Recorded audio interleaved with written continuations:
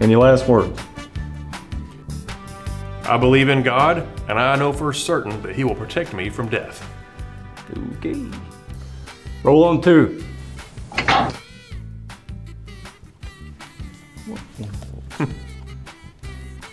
Yeah, told you. Get him out of the chair. All right. Do you have any last words? I graduated from Harvard Law School. My analysis says the God of law and justice will save me from death. Innocent? Mm-hmm. Everybody is. Roll on two. Again? Come on, guys. Am I being punked here? We got this now. Do you have any last words? Not really. I'm, I'm not a smart man. I didn't go to college, didn't graduate high school. But I did sell Kirby vacuum cleaners for two summers in a row.